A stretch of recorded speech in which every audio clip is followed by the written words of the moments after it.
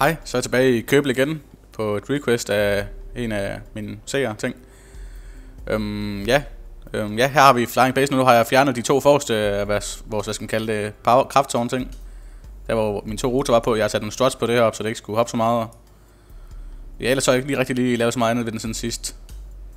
Vi kan ikke sidde på siden af det eller egentlig? Åh, oh, nice. Så lige have alt det guide på. Center of Massa der. Frost den var lefter der om bag. um, ja, jeg har selvfølgelig også sat et forhjul på den nu, så snuden ikke bare bag ned i jorden. Um, jeg tænker, nu skal jeg lige se her. Jeg tænker, jeg skal have det der hjul sænke lidt, så det sidder i samme højde som de her hjul her, og så simpelthen ikke kan lave der noget, noget payload af en art, så den kan have måske en rover eller den inden under. Det kunne være meget fed lille feature, synes jeg. Jeg tænker, at lige fjerner det hjul her. Lige tager det væk. Lad os se, om den her den kan bruges. Jeg skal kun bruge en enkelt. Lad os se, hvis vi lige sætter det der hjul på der. Lad os lige prøve at hoppe ud og se, hvordan den ser ud nu.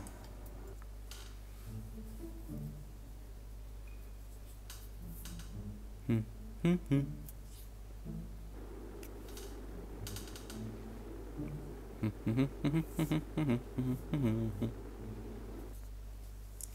Så her har vi den så Jeg beklager for den her input visualizer ting. Jeg ved ikke lige, hvorfor den er der. Jeg ved ikke lige, hvordan jeg skal fjerne den. Men øhm, her har vi den sådan, når den står ude på landingsbanen lige pt. Og hvis vi se, der er ret god plads under den i forhold til at sætte et eller andet payload på den. Øh, den kan sjovt nok stadig flyve, ligesom den også kunne sidst, og ja. Åh, Oh, oh hvorfor gør jeg altid det der? Jeg kommer altid til at skyde de missiler der. Øh, jeg kommer altid til at gå alle mine stages igennem, når jeg venter på at lave den fornuftigt. Altså, jeg tænker i hvert fald lige hoppe tilbage, og så se om jeg ikke kan sætte et eller andet payload på den anden art. Jeg tænker, jeg tænker, jeg tænker at sætte en lille drone på den anden art, der kører væk. Spørgsmålet så, hvad vej den skal køre væk, ja. Jeg tænker, jeg tænker, jeg tænker, hvis vi har her, vi har et hjul der, det er vejen. Bagved har vi vingen, eller hale, som kommer i vejen. Jeg tænker, hvis man laver den sådan købe til en af siderne måske. Det er bare svært i forhold til at få den lige vægtig. Og lad os prøve at se. Skal vi først og fremmest tage ind, hvor er den henne? Hvor er den henne? Den der, en attachment point. Lad os lige blive lidt der øjeblik. Jeg skal lige have... Nej, lad os bare nøjes med at have center of mass på. Jeg tænker, jeg vil helst ikke have center of mass for langt fremad, fordi det, det er trods alt, vi har kun motorarm bag i, så de skal gerne være omkring center of mass, når det er nu en helikopter, så den ikke løfter frem eller bagud, eller den løfter skævt, hvis man kan sådan. Som jeg egentlig kan man sige, at det ville sådan være optimalt, hvis jeg kunne, ja, i og kunne jeg bare rykke motoren lidt længere frem, så egentlig, men ja. De sidder der i hvert fald, men jeg tænker faktisk at lave en rover, så den stikker bagud, nemlig, så vi netop holder vægten tænker, jeg skal lige ind under, ind under den her, så jeg rigtig kan se, hvad jeg laver. Øh, bla. Lad os se. Det der, der er cirka midten der. Ej, den skal længere frem, tror jeg. Jeg tager lidt af hjul et øjeblik, fordi det irriterer mig. Den der. Gå væk. Dum. Den er kommet lige helt derover. Jeg skal lige det her på igen. Og når det ser fint ud. Um, ja, det ser ikke fint ud, det ser lidt dumt ud, det der ting, men ja. I ved, hvad jeg mener. Nu har jeg i hvert fald lavet sådan her, så skal vi have en docking port, tænker jeg. Øh, bum bum bum. En lille sødt docking port her. En junior, der passer ind. Eller er junioren inden for lille? Ja, junioren er for lille. Øh, læg den store senior ting. Hvor den hen? Hvorfor kan jeg ikke finde den docking port, jeg efter? Der var den. Så har vi en docking port der en på, der vender modsat, og så på der, sådan, så de to sammen. Og skal jeg bygge noget her, det vil sige, at jeg skal bruge sådan slamper der igen. Åh, oh, hvor den? Åh, oh, forkert kategori. jeg har lidt svært at ramme de rigtige kategorier, fordi det her jeg også har min FPS-tal, så ja. Dem kan I, undskyld. Dem kan I selvfølgelig ikke se, men det kan jeg, det vil sige, de er i vejen for mig, når jeg sidder og laver noget. Um, Hvordan fanden er det, nu skal finde? Finder den sådan der kasse? Så kan jeg sætte lidt op under den, mener jeg. Undskyld. Um, jeg tænker, jeg tænker, jeg tænker, vi skal have en, vi skal have en krop af en art, men hvordan skal den se ud? Den skal gerne passe, den ramme ned i jorden, og stadig komme op til den der dokken på igen også. Så jeg tænker, vi skal måske sætte en, Mm, hvad skal vi bygge, hvis det skal være en rover? En rover, en rover, en rover. Bum, bum, bum. Jeg tænker noget fuel tank eller noget. Jeg tænker at sætte en fuel tank vertikal, og så en plade nedenunder, som selve rowen består af, nemlig. Um, cool. I guess skal jeg den der væk. Den har vi sådan set... Oh, var det den rigtige? Ja, det var den rigtige, jeg fik slettet. Sådan der. Så har vi en fuel tank her, det vil sige, at jeg skal sætte en plade under sådan en hjul, og så et eller andet, finde på et eller andet pjat her, hvis det er, jeg kan få det, få det til at lykkes. Um, ja, jeg vil sige, jeg bygger ikke særlig tit um, rover, fordi jeg, ja, jeg synes, de er træls. de irriterer mig, fordi jeg altid dør med dem eller et eller andet gejl se, en plade, en plade, en plade, en 2x2 måske. Hvis vi laver en 2x2, så bliver den... Ja, lad os da prøve. Så vi skal to på. Nej, vi skal kun en enkelt på der. Mm. Jeg tænker, vi skal lave den på en smart måde her. Er der egentlig en af pladerne, der... Der har et punkt i midten egentlig. Nu har jeg tænkt over det. Mm, nej, der er selvfølgelig ingen af pladerne, der har et punkt, et centerpunkt ting. Jo, den der har, den er har, skide godt. Men for structural panel, nice, 4x4. Sådan der, så sætter de sammen, så har vi den. Så tænker jeg, åh, oh, ikke den, den der. Oh, ah, ah. Um, ja, det er så ikke, den er så ikke helt tyk nok. Har vi ikke en, der er tykkere? Den har vi nok selvfølgelig over en reinforced måske, hvis vi har nogle reinforced trekanter. Det har vi selvfølgelig ikke. selvfølgelig har vi ikke det. Typisk. Um, så lad os se. Lad os lige nøjes med en enkelt, så. Lad os se, den skal være cirka der. Og så kan vi sætte den anden, den kan lige sådan der. Så sætter de der to nemlig sammen på den måde. Det er jo meget smart. Um, jeg tænker, det der det er snuden, det vil sige, jeg tænker, at den skal, ja, man skal sådan lige manøvrere den lidt væk for at få den ud herfra, tænker jeg. bum, bum, bum. Hvordan gør vi så lige det her smartest? Vi skal, vi skal have et sæde i hvert fald. det er den derovre. Vi skal have et sæde lige. Lad os, se. Lad os sætte sædet lige her. Inde et eller andet sted, hvis det er cirka midten der. Det er cirka midten. Vi skal have noget lys på den også, sjovt nok. Lys, lys, lys, lys, lys, lys og lamper. Der er nogle der.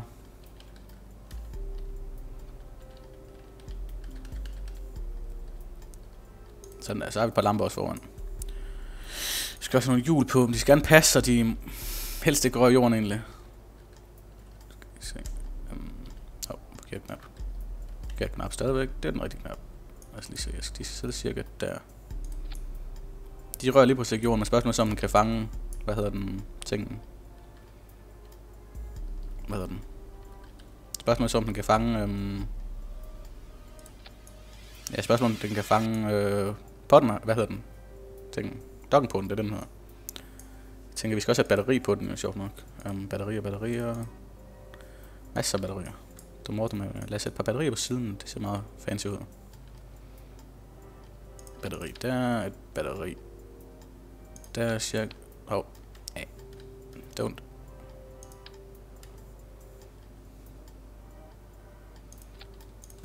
Og et batteri der, det er sgu fint. Det er der ikke nogen, der opdager. Det føler åbenbart ikke lige for sig. Det er også nok batteri lige nu. Så lad os sætte et par af de her ting på for at få noget power. Og jeg tænker et par solpaneler også.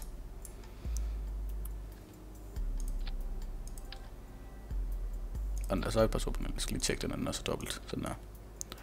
Nu ser roveren, den er egentlig rimelig basic rover lige nu, kan man sige. Um, så jeg tænker, jeg skal starte den, så skal jeg have en købel ud og ned, og ja, det må jeg lige... Lad os gå ud og kigge på det. Fjernes lige hurtigt de der missiler, før jeg kommer til at skyde dem igen.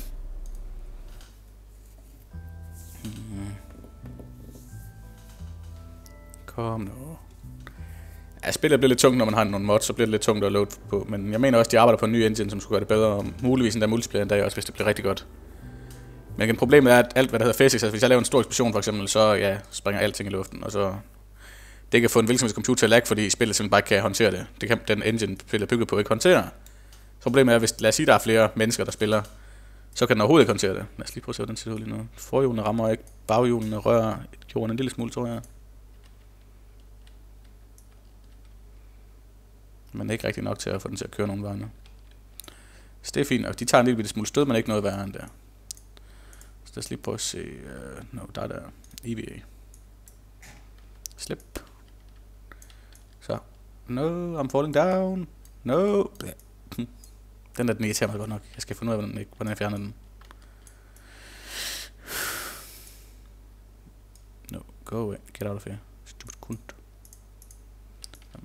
Så kan jeg komme tættere på, til at jeg kan få lov til at bruge det der sidder der. Det er skide godt. Og så zoomer den ud, selvfølgelig gør den der. Så nu sætter jeg ned i den her ting. Så de prøver decouple note. Og så sidder jeg selvfølgelig styre den forkerte.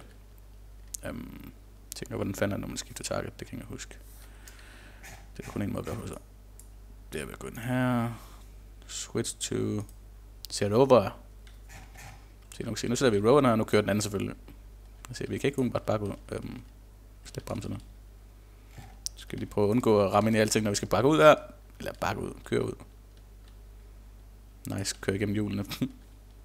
Jeg vil se, at virker om igen, altså jeg kan lige prøve at se noget lys. Så har vi også lys på nu. Lad os lige prøve at få den på plads igen. Der er brems! Jamen, jeg holder et rigtig dårligt sted, synes jeg. ah, jeg bliver ramt af røven nu. Hjælp. Mayday. Nu skal jeg lige holde ud herfra. Så flyt dig nu din lorte hale. Jeg skal forbi, jo. Og så hjælper det der ikke lige for mig at have det der midt i det hele. What? Hvad laver ham der? Er han død, eller hvad fanden laver han? Um, han er åbenbart død. Et eller andet.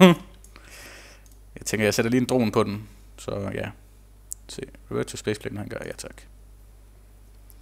Så tænker jeg, jeg sætter en drone på, så jeg kan styre den uden person i, fordi det gør det ligesom lidt nemmere at arbejde med, kan man sige. Øhm, um, set drone thingy. We have set drones. All set drones. Into battle. Se, den der drone, den er kæmpe stor. Den er også kæmpe, ikke den her, den lille. Ja. Den her er mindre, nej, det er den største. Dem her, de er ikke store, er det? Nej, det er ikke lige sidder på spidsen. Um, og der er træt ikke lige attachment for en point on pay, point on bagpå. Jeg tænker lige, vi skal bruge, um, hvor den henne, Øh, bruge øh, den der. Så lige se lige bagfra. Den enkelt en der. Og så skal vi lige fat i den her igen. Nej, jeg tror, vi tager den anden. Vi tager Sputnikken. Hvor den henne, er Sputnik? Den, altså, den kan lige ligge der. Så skal vi lige have fat i Structural. er det ikke der, de ligger? Min nose cones. No, jo, den var der. Og så skal vi en Sputnik på. Sådan der. Så skulle den gerne være klar til en, endnu en prøvetur.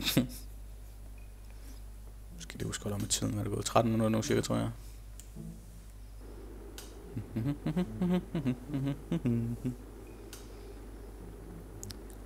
Så vi loader. Og loader. Og sidder han og kigger. Hvornår holder den dag? Og Lad os lige se. Control from here. Ja, den vender både på hovedet og alt muligt mærkeligt. Så skal lige se. Vi ser stadig den forkerte ting. Um, Twitch 2. Så er konsolen sikkert omvendt lige nu. Nej, de skulle stadig den rigtige vej. Nice. Jamen, det er det mest interessante, det er det mest simpelthen kan jeg finde ud af at dekoble igen. Lad os lige prøve at se. Nu skal det der lige gå væk alt det pjat. Så jeg skal lige brems. Hvorfor står den og hopper sådan frem tilbage? Control from der. Mm. This one set as target.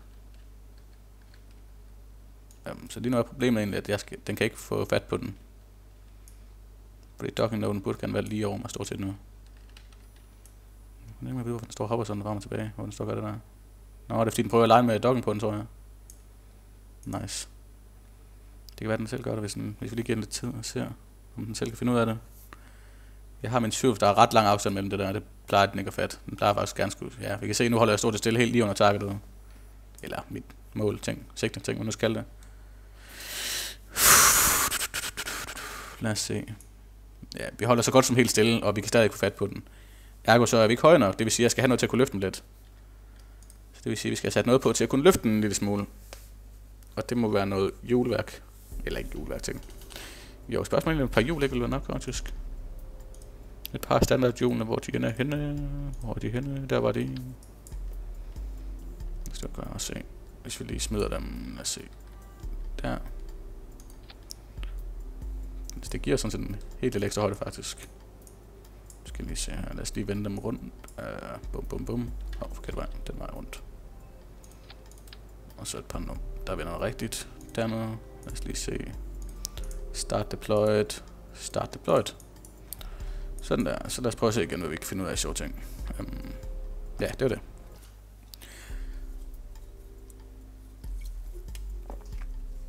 Jeg tænker, nu ser vi lige hurtigt det her, og så... Nu ser vi, om det her, det, hvis, det, hvis det her det virker, så er det perfekt.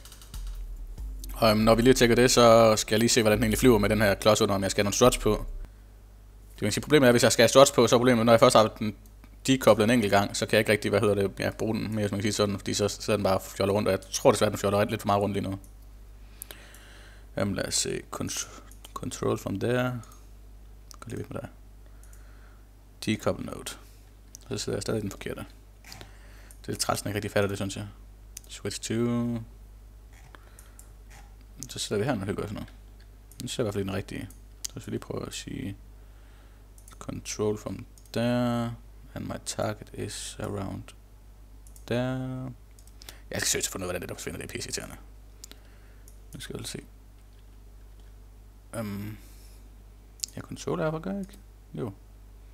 Det ved ikke om det rigtigt target. Nu er det i hvert fald på, at der er target ting. Jeg vil godt. før den prøvede den selv at gøre det. Det ved jeg ikke, hvorfor den ikke lige føler for at gøre noget. Hov, så trykker på et eller andet der. Cirka der, det er rimelig tæt på. Lad os prøve tre hjulen ned og se, hvad der sker. Om vi rammer den. Det skulle da i hvert fald op i den.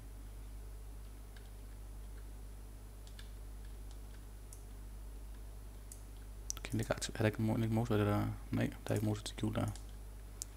Så det er noget problem, sådan at jeg ikke kan styre, kan man sige, fordi ja, dem er de retarderede. Og jeg ikke rammer dokken på den også. Jeg holder lidt forkert, så lad os lige prøve at tage hjulen igen. Det vil sige, at jeg skal længere bagud, når jeg gør det. Det vil sige, hvis vi nu holder her måske. Lad os prøve at se, om den så gør. Nej, den gider stadig ikke. Kom nu. Nej. Åndssvage docking ports. Lad os lige se hjulen igen. Activate docking camera. Nice docking camera though. det jeg holder sgu lige under den, mand. Lad os lige prøve at gå herover og se, hvad den så gør nu. Jeg tvivler på, at den vi gider, men det var vi heldige. Jeg tror, det an, hvad jeg lige skulle huske at aktivere bremsen ting, når jeg gør det her. Så den netop ikke når at køre så langt. Prøv at se nu. Kom nu. Ja, sådan der. Så den kan godt gøre det. No, don't fall. Back over. Nu tager den selvfølgelig alle hjulene ind også, jo. Så kører vi bare på rover-hjulene og baghjulene. Jamen, nu, nu virker det her i hvert fald. Nu kan se, at vi styrer det hele nu, så... Lad os prøve at se, om vi overhovedet kan flyve med det kat her. Jeg er bange. Jeg går ikke med der. Lad os lige se her. Noget lys. Ikke noget lys endnu. Stille og roligt, stille og roligt. Nej, han er stadig. Ja, den, nej, den, den bouncer faktisk. Den hopper ikke så meget rundt, som jeg frygtede, den ville. Egentlig overraskende nok. Så den virker sådan set meget, meget godt lige nu, egentlig, kan man sige. Altså, jeg har min rover, jeg kan sætte af et eller andet sted. Jeg kan også få den på igen med lidt besvær, men... Jeg tænker, det må jeg prøve at kigge på, øh, når jeg laver en episode mere, og så kigge på, om jeg kan få den lavet bedre, og måske også rent faktisk gøre den brugbar, så den kan bruges andet end bare fjolle rundt med. Men selvfølgelig kan man sige, at det er jo meget smart, hvis jeg flyver et andet sted hen. Og så, hvad hedder det, ja, have roveren til netop at kunne, ja, udforske et område eller andet, men jeg tænker, hvis vi nu stille og roligt prøver at sænke, far, sænke farten, har jeg sagt. Sænke throttlen, så vi lander igen. For jeg tror nemlig ikke, den kan lide det. Jeg tror ikke, den kan lide det. Okay, nu jeg lige skal ud først.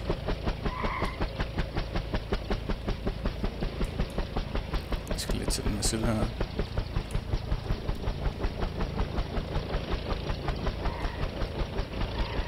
Så lander vi sgu. Jeg tror, jeg skal fjerne dem her fra actiongruppen, så jeg laver min egen action group til dem, hvis man kalder det Det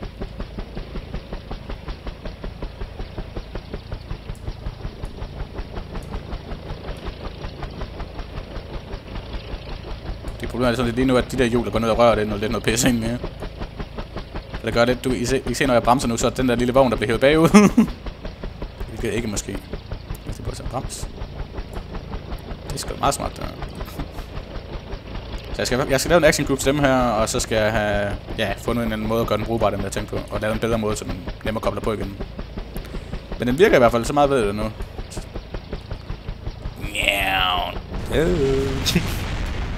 Major explosion, men man kan se sådan nogle eksplosioner som det her. Prøv at se, hvor meget eksplosion der kommer bare på det her. Prøv at forestille, hvis det skulle være multiplayer, hvor meget den så skulle lave.